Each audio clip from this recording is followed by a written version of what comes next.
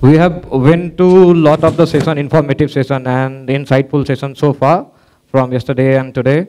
So today I am going to talk about something which is very much special and very much informative for me as well when I started these things. I started it back uh, one year ago and that is flood and other disaster prediction using predictive modeling and AI.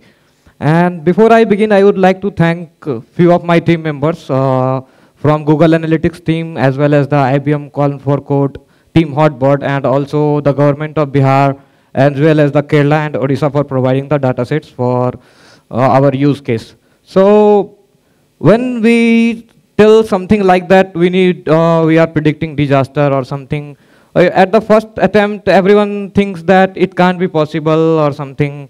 But uh, there are lots of scenarios in India as well, which has set an example in, the, in this field and has a huge impact on all over the world in predicting this kind of things. So the problem is that we can't prevent any kind of disaster. That is the fact that no disaster can be prevented. But the, there is also a major fact that the loss can be minimized. So, so before we begin, so let's take one example and that is none other than of Odisha. So it's about, uh, it's a story uh, uh, around 20 years back when a severe super cyclone hit the coastal plains of Odisha and it resulted that time in 10,000 casualties and over 3.5 millions of uh, houses been completely washed away. Many villages also gone. Lots of people and 25 lakhs people were stuck into the situation due to the water logging. So there was a lots of problem and trouble that time. So cutting back to the last two years when uh, cyclone of same intensity came in Odisha, the state grabbed to manage the loss and reduce the casualties to 64. So how this it happened? So 10,000 casualties last 20 years and 64 casualties. 64 is also a devastating figure because the most important thing on this world is life. So 64 casualties also a very much devastating figure, but the thing is that we need to understand that this is, a kind of achievement also. From 10,000 casualties to 64 casualties, it's kind of achievement for a state which is prone to the natural disaster like uh, cyclones, tsunamis, floods. This happens regularly in Odisha. What Odisha did? Odisha did the real life uh, use of image recognition as well as the long short-term memory approach using deep learning. This kind of things were done. So we will discuss a few of them and and then we will see the coding part as well and we will see the real challenges that what we are facing currently and how to recover and what should be the response and where we are lagging. So these are the few stuff that we will see.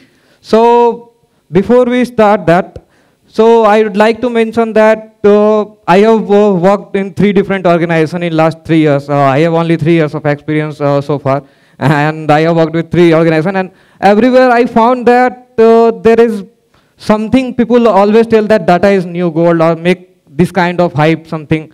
Uh, machine learning is the new thing that you should be able to do. It is the future. they are not wrong, but the thing is that it is a very much long old concept. We can say that it started in 1950 when IBM published a paper on machine learning first time. So it is uh, from that time only, but uh, when the Python and R libraries introduced, people started and it made uh, machine learning so easy so that even a school going kid can understand. They can also make a system and they can also train their model. There are few parts people will say that exploratory data analysis uh, take a 70% of the time uh, in model, modeling, anything. But the thing is that these are one part. The major risk and major most important part that the challenge everywhere the people are facing is to get the proper data. We are not getting data itself. So how to do the exploratory data analysis? There are lots of parts then univariate analysis, bivariate analysis, outlier treatment, feature creation, variable creation. There are lots of things, lots of stuff. It will definitely take lots of time. But the thing is that we should get data at least so that we will able to do something. So for that, I would like to thank uh, different government that have provided lots of data and insights so that we are able to use them in our cases. And another example is of Kerala. Uh, last, uh, I will say in August 2018, Kerala also faced one of the floods that was one of a kind. and it uh, affected around 1.3 million of the population that time. So what did then Kerala did? Kerala did some hackathon kind of stuff and we also participated in that. Many teams from different organizations participated and they uh, told us to uh, build a something that should be beneficial at that time. So thanks to AI and DevOps that time, on the first day of the flood, we started working and within 24 hours, the model was live so that it's, uh, it was basically for the connectivity of the people which are in the low-lying areas in Kerala or different parts of the uh, other parts of the Kerala also. So, so let's begin. So as we know that every year disaster kills around 90,000 of the people and affect around 160 million people worldwide. This is, this is the figure uh, which uh, we got from Wikipedia and this is the actual figure. Actual figure is even more than that. It was uh, last year we have taken this data, but it is data, it is a horrible figure. So according to World Index report, uh, the most, India is at number five and most uh, frequently hit countries by natural disaster. And uh, China is at the number one, and uh, United States, Philippines, Indonesia, and in India is at number five. But we are ahead, we are doing something that is relevant to us, relevant for the data scientists, relevant for the researchers, and they are doing something that is in favor of mankind. So they are something that can be inspirational for us so that how to do something, how to judge any kind of disaster, whether it should be predicted or the loss, how the loss can be minimized, thanks to all uh, long short-term memory approaches and lots of the uh, uh, uh lots of the libraries. Uh, uh, last August, TensorFlow released 2.2 alpha 2.0 alpha version with tightly coupled with Keras. How many of you have deployed the model using TensorFlow 2.0 and Keras? It should be, it can be MNIST the data set also. So can you can raise the hands. Those who have, okay. Uh, nice. So, so we have used uh, here TensorFlow and Keras, and we will see that uh, what we have did, and then we will analyze that what needs to be done and how it can be improved further. So you, as you can see that uh, there are lots of di disaster. Actually, there are six, 64 disasters that happened in last uh, from post-independence, from 1947 to till now. There has been a, a 664 such events and causing deaths of total more than 17 lakhs people. It is a devastating figure and horrible figure also, but it's a data, we need to accept it. And uh, the loss of, and the total damage in million USD is like 91,086. I don't know whether it will fit in the calculator or not, I don't think so. So, so these are the kind of losses that India and other developing countries faces uh, uh, we can say that this kind of things impact not only the economy but also the sentiments of the people. So what needs to be done? Actually, we have learned from the community and it's time to repay them back. How to repay them back? We need to do something in this field so that we can come together, we can do something so that it should be in the favor of mankind. So we need to see things with a different angle. We simply can't tell, no, it can't be possible, we can't do anything. This occurs only in theoretical part also. So we, we will not able to achieve this. So it is a waste of time. If we'll think like that, then it will be impossible because everything start uh, with something, a small step is taken, then everything is, success or failure is a different part of the game. So, but we should start something in, something that should be for the community. So, let's move further. In the last 17 years, India had faced more than 300 natural disasters, which include drought, earthquake, epi epidemics, extreme temperature, floods, landslides, storms. Recently, we have heard about the coronavirus. So, do you know how the first case was uh, identified of coronavirus? Anyone? It was identified using AI in Canada. DotX is a platform which identified it back in December for the, all its customers uh, who were in, uh, it showed that warning that coronavirus is going to impact their country. So it was Canada where the first case was identified it and it was all AI image recognition technique. So we should we should do something in the favor of mankind. So these are the things that actually happening in the world and we should also stand somewhere. So some of the uh, disasters which are predicted actually uh, in the past or I have gone through many research paper uh, and got to know that extreme temperature, earthquake, floods, drought, these all seems to be impossible to be predicted. But uh, there are cases that where this has been predicted and over accuracy of 70%. So as we know that, so these cases are actually totally different. So when we talk about these cases, people think of stock market data. So it can't be done or it can't be predicted what will be the next thing. So there are lots of questions around that. But actually we are thankful to our nature that the climate has a natural pattern because winter will come in winter.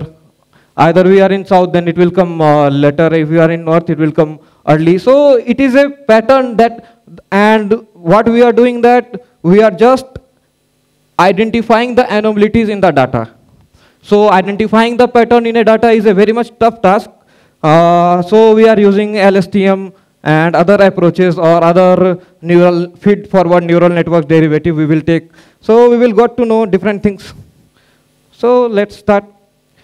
So the major thing is that we need to identify the feature, which are the feature which can be more correlated because while sitting in a AC room, we can't predict that whether it is going to be a flood in some area or not.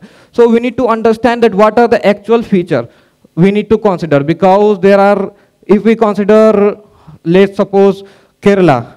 It has been, it is, at, it is at a high-lying area with respect to ocean, but when we consider Bihar, it is at low-lying area. So the feature will be di totally different. So we need to understand that which kind of feature we need to choose, and we should fragment our model. So everything can't be generalized. So we need to fragment our model into different angle, and we need to see it with different perspectives.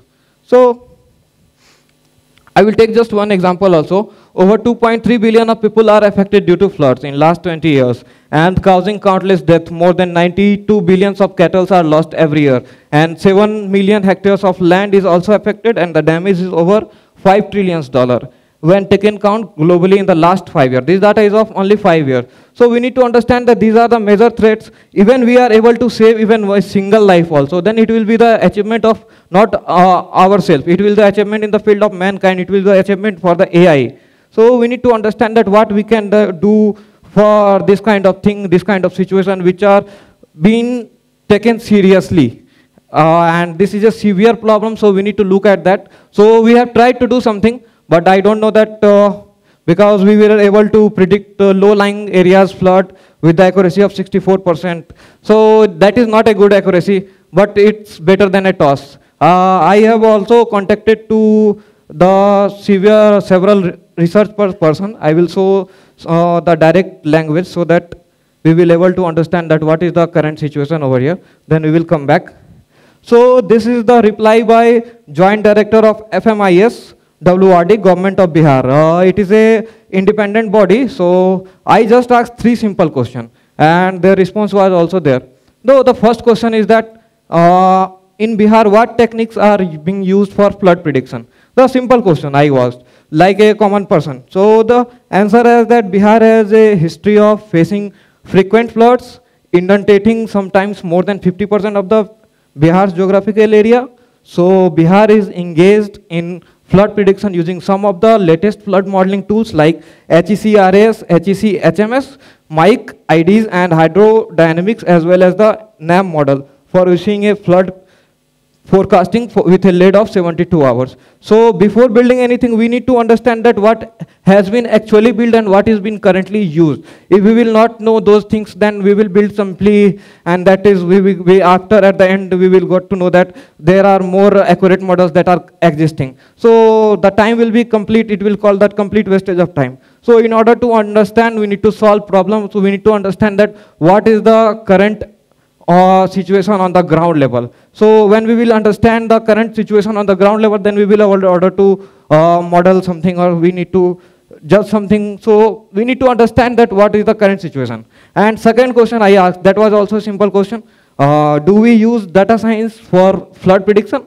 The answer I was that we are using available historical data related to rainfalls, water levels of various rivers for calibrating and testing our flood forecasting model. So answer was not clear.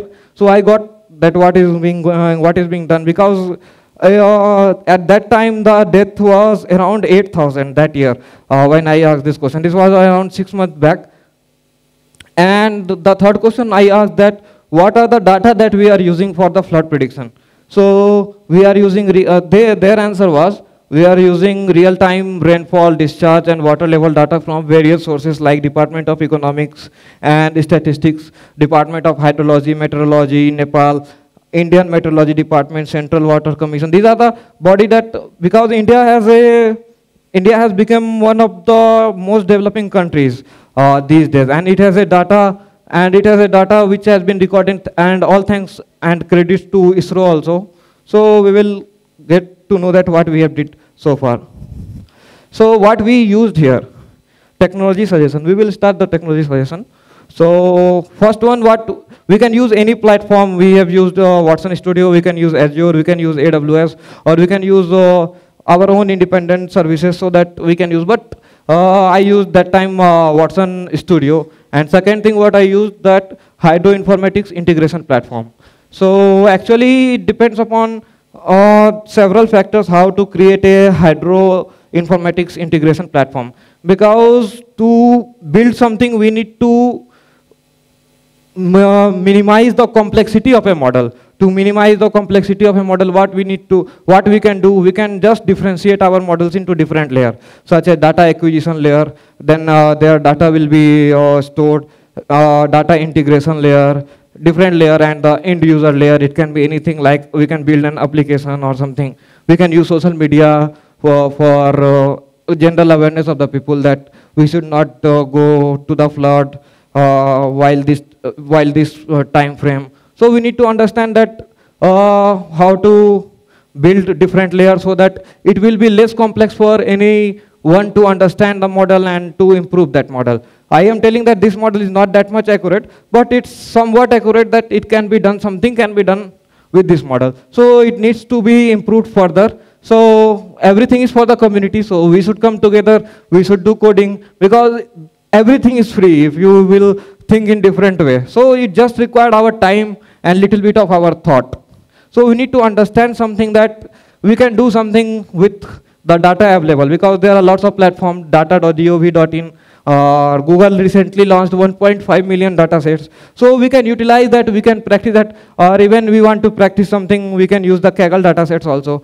But, but the real-time problem is very much different because actually only 30% of the data in the world are in the structured format and rest 70% of the data is in unstructured format. What does it mean? It, it means that it, it is a headache. So how to make the what is the job of a data analyst? They make unstructured data into structured data, that's all. So, but we will require lots because there can be lot of feature that will be, uh, that can be causing flood. So we need to understand that feature and we need to take each and every data. So we try to take data as uh, old as possible. We have taken data from 1901 to 2017. So that time. And other thing is that uh, two algorithms that uh, mostly we used was three parameter Muskingum model coupled with BAT algorithm. So actually three parameters Muskingum model is something that is been uh, that is a old concept. It was given by McCarthy in 1936 that time. So we have studied that that what is been currently done uh, with this model. This is actually a river routing problem. So in this kind of uh, scenario, three parameter uh, Muskingum model is used because it depends upon two factors. One is the continuity equation and that is directly proportional to the law of conservation of mass. And second is that how the inflow and out, uh, outflow of the river discharge depends upon the catchment of the river. So this thing we need to consider what we can done.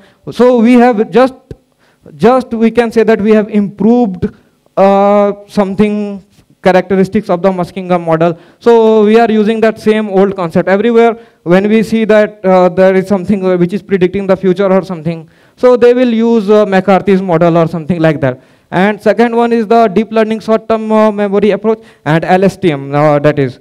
So it is better to use LSTMs over that because uh, we can say that in a normal traditional neural networks, the problem is that the specificity and sensitivity uh, decays exponentially with uh, time. So we need to understand this fact and so we will discuss further that. And another one I mentioned is the BAT algorithm. It is nothing, it is uh, inspired by bats only and it's like uh, it's echolocation of bats and loudness and pulse it measures and then it uh, it will ju just give one output either 0 or 1 high intensity or low intensity just all. So and also we have studied different statistical method that been currently used in different parts of the world such as uh, different parts of the world we have uh, we have studied few models actually. We will not go in that much detail about that models. Uh, actually they are the region where us japan uk greece and india india is using heavily uh, ai these days and all the all the things which were the models which are predicting were hourly data so so let's proceed further. And all were the historical data that been currently used. And we can understand these things concept uh, because each concept is a very much, uh, we need to understand in it very much depth because speaking something in the air will not uh, uh, do that task. So we need to understand, we need to do, we need to invest our time. So let's proceed further. So what data set we have used there? Uh, first thing was the district-wise rainfall uh, uh, month uh, data from 1901 to 2019 and second one was hydrometer reading and third one was river basin discharge and fourth one was uh, actually I forgot to tell uh, all the things we are predicting here is for Bihar because we have actual data set for different parts of the low-lying areas of Bihar as well. So we need to understand, we know actually what is at the ground level, what is the sorrow of people. So we have used uh, different kind of data sets like we have considered death records of animals, death records of the human because which intensity of flood will result into how many deaths. So it can't be model, it is, uh, but it is uncertain. So but we have considered because uh, adding a feature, so we have just added uh, it as a feature. So we will discuss further, then we will see the coding part as well.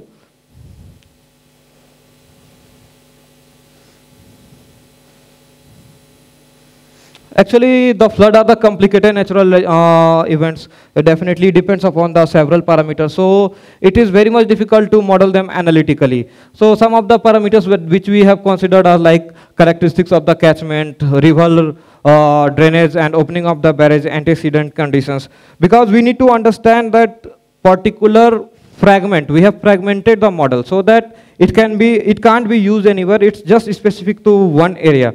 Because uh, we have why we have considered low-lying areas because if the rainfall is high in Nepal, so all the water from Nepal because it's a slope. So we need to understand that if the if there is a high rain in Nepal, then all water will come to certain to Bihar because Nepal is just at the higher level and Bihar is just below that. So if there is uh, higher rainfall in Nepal also, then it will turn into flood in Bihar. So why why uh, Nepal government is not doing anything? We, uh, we will have a question that uh, we can build a dam over there in Nepal. But dam has a limit. If uh, they will not open the barrage of the dam, then what will happen? That Nepal will get flooded. So they need to save themselves. So they have to open the dam built on the Kosi river. And if they will uh, open the dam, definitely the flood will come in Bihar. But we need to understand that what is the intensity of the Bihar, how much area or how much square kilometers should be vacated. Uh, either it's uh, orange signal or it's red signal or it is in green zone. So we need to understand these kind of things. And another uh, example I would like uh, to add here it, uh, it, it also happened a way back. Uh, it, this story is about from 1936. It was the year of presidential presidential election in US. And that time, Republican Landon challenged that time incumbent President Mr. Roosevelt. And what happened that time, actually, uh, there was one uh, magazine that time called Literary Digest. And that magazine predicted and that magazine asked its reader, uh, it's a very much famous example, asked this reader, uh, 10 million readers actually, that whom they would vote for, either Roosevelt or Republican Landon. So out of 10 million, 2.4 million people have responded so far. And uh, after the prediction, they told that the magazine told that uh, the Republican Landon will win 57% of the vote, while Roosevelt will win around 31% of the vote. But uh, on the day of the result, it was completely opposite. Actually, 62% uh, of the votes was won by Roosevelt, and only 38% of the vote was uh, won by Republican Landon. So what happened? What happened wrong? So can anyone answer there?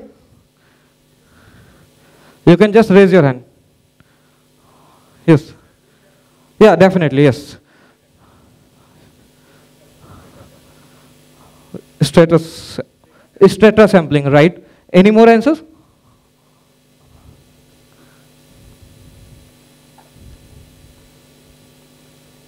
So actually both of you are right. But the thing is that here the problem was that the first problem was that that uh, we can say that the responded people were only 2.4 millions and all they were the readers of the magazine. So what we can take as an inference that they belongs to upper class or the middle class of the society. So the problem was that that magazine does not reach towards the lower backgrounds of the people. So they went to their readers only. And it is not also a fact that their readers are voters. So, or this can be also possible that the readers who have responded are biased towards the Republican Landon. So there can be many possibilities. So, but as of now, we can take two more, and we have uh, proceeded further. One was that we need always to consider uh, selection bias as well as we can say that non-response bias because only one-fourth of the uh, population responded that time. So this is the important thing we need to consider uh, while modeling anything. And also a important fact was that uh, if we consider a badly considered model with a huge sample is worse than wisely considered a small sample. So we need to understand these things that how to uh, sample our uh, uh, data set. So the problem is that we can't make anything generalized. So we need to understand that sampling bias and non-response bias. Because if we don't uh, understand these things, it's better to do a toss. It will save a time and it will, everything will be saved because tossing does not require, just a coin is required. So in order to achieve something, we need to understand that bias also an important factor while modeling anything. So let's start. And why we have considered uh, Bihar that time while modeling? Because it is one of the most flooded state uh, of the country. Around 78% of the land in Bihar is uh, directly or indirectly uh, affected by flood. So this is the thing we, why we have considered. If we can consider or we can come up a solution for a worst situation, then definitely we can come so solution for a different uh, scenarios, which is little worse because Bihar is the most worst. So so actually from present, from 1979 to present day, more than 8,073 humans and uh, 27,500 animals have lost their life due to the flood. And according to some historical data, we can see that here, 65% uh, of the total flood affected area in India is located in Bihar, while 22.1% of the flood affected population lives in Bihar. Thanks for the Google Analytics team. They also uh, went Patna uh, with us and uh, IBM call for code Team Hardware, they also went uh, with us to understand what is the scenario, what the problem is currently being faced by different peoples, what is the actual scenario, wh what we can do. So we have discussed about the complexity and what we, uh, we have discussed about what is at the ground level. Uh, thank you for the government because they have shared the accurate things. They have also shared the accurate data that help uh, us a lot to model something. So so actually we should, uh, we should save our time, at least we can give a 30 minutes or one hour daily so that we can do something for the community. If we will able to uh, do something for the community, just a little time is required and it will uh, make a huge impact. So definitely I have used here the TensorFlow as well as the Keras uh, for modeling uh, our deep learning model. So we have used long sum term more, uh, just I will show you. This is the flood train data set. Just uh, this data set uh, you can find all the codes and dataset as well uh, in the in my GitHub repository. I have mentioned everything there, and I have uploaded the dataset as well. That what we have used, and what we can wh where we can improve. Also, this also we need to consider in our mind. These are the coding part as well. We have also uh, we have seen yesterday also that uh, there was one uh, session about uh, predicting that whether a person is a horse or whether it, something is a horse or animal, horse or man. So this kind of thing you can relate to, but uh, little complex things will come uh, while modeling some of the LSTM's memory uh, when we will discuss about these things. It will be little complex, but we can understand what, uh, what is happening in the background. So the most important thing which I feel is the acquisition of the data because data is not available. People will always say that data is the new gold, but whether you will find that uh, new gold because uh, it is it is in unstructured format. Every tweet, every like, everything has a meaning. So we need to understand that we need we don't have that much resource or that much manpower that can extract because we can't hire lots of da data analysts to do something. So everything should be automated to some extent, but it can't be done because still uh, only 30% of the data is in structured format. So just, I will show, the, uh, these are the references. I will show some of the uh, result what we have got. Uh, this one was the, the upper part is the predicted result and the below part is the ground truth.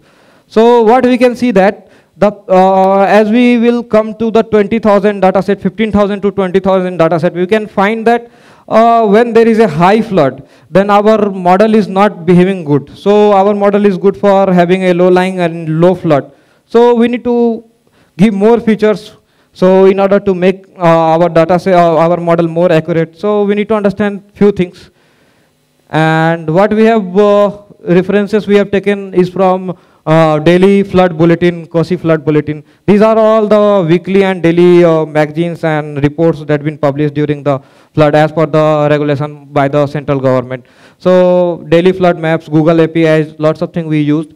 And the, here is the my link for my uh, GitHub repository where we can find the code as well as the dataset.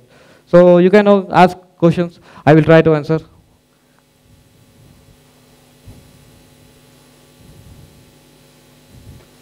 So it's fine. Uh, you can contact me later. Just you need to do. You need to just search Akshit Priyas on Google, and you can find me on any platform. Just message me. I will be there, and I will be working with you. I will be definitely love to do something in this field. So thank you. Thanks all.